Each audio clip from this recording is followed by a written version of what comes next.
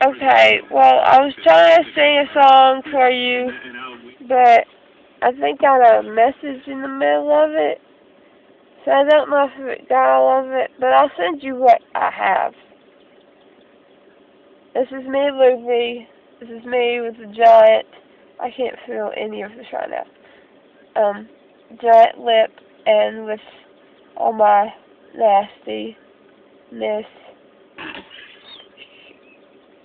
It's,